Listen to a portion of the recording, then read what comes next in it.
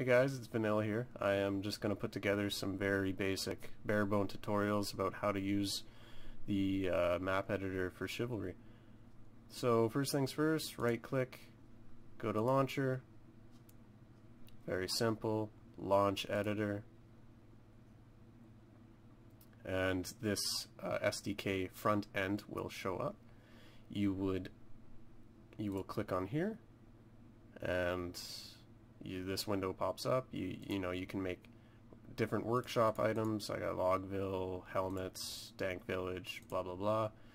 Anyways, uh, you must hit Launch Editor, and this will take a couple minutes to open up. So while it's opening up, I just my experience with trying to figure out this uh, map editor was a nightmare.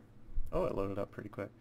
And so some people have been asking me since I released helmets, which I can open up for you. Actually, uh,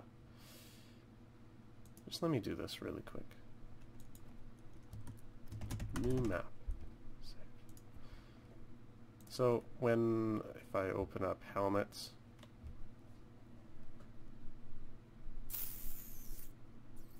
which I, I appreciate the feedback for. I put a lot of work into it. It still needs a lot of work, so um, mm -hmm.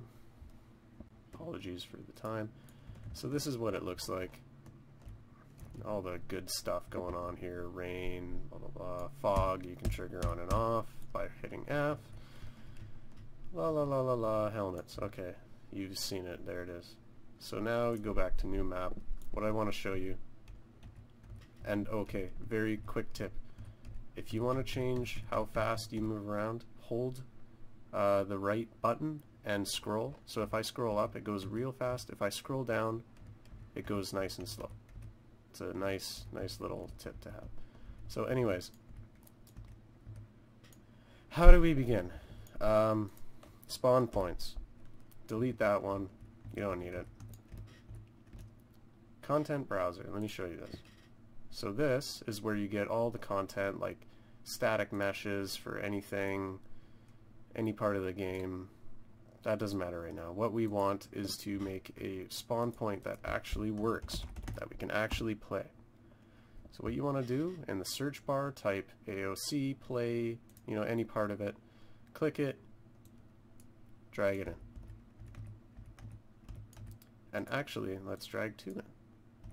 Or three. Three's nice. So,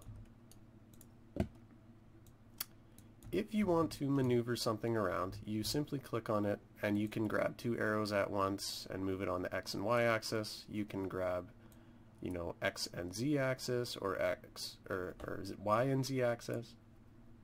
See how it says bad size? It means it's too close to the ground, so I move it back up and I can spawn.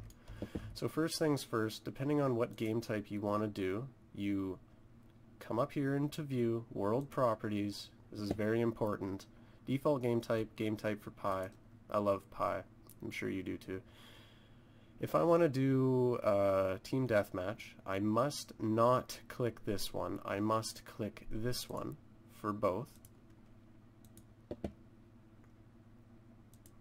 And for this spawn point, click on it, hit F4, that brings up the properties. This thing here, you must set, if, if you're doing Team Deathmatch, you must set it one to Mason, set the other one to Agatha. And wow, you've accomplished the hardest thing ever. And oh my god, it still doesn't work. What the hell's going on? Exit. You forgot to build paths. Build paths. There you go. Mason.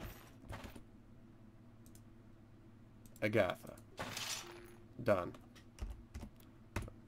So if I want to do FFA, for this one over here, I must, uh, don't set it to FFA, set it to all, come back up into World Properties, and set the game type to FFA.